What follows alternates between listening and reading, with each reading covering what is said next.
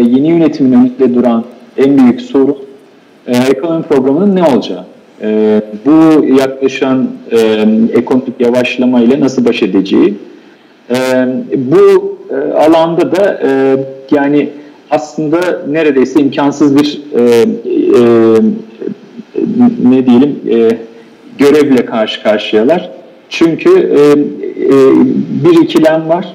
E, ikilemi de kendi yarattı. AKP hükümetleri döneminde uygulanan ekonomi politikaları sonucunda yaratıldı. E, Merkez, Merkez Bankası faizi arttırırsa enflasyonu mücadele için zaten daralmakta olan ekonomi daha da e, e, sert bir şekilde e, resesyona girmesi muhtemel.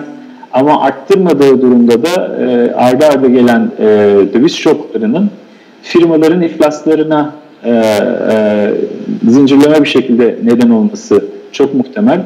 Firma iflasları gündeme geldiğimiz zaman da e, bizim karşımıza çıkacak şey şimdiden e, etkilerini görmeye başladığımız e, bankacılık sistemine bunların yansıması.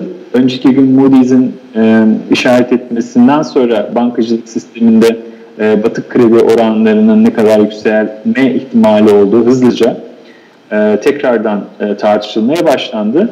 Yani e, işte bu döviz faiz kıskacı e, olarak tanımladığım e, 2000'ler boyunca uygulanan ekonomi politikalarının sonucu olarak gelip Türkiye ekonomisini sıkıştırdıkları yer burası.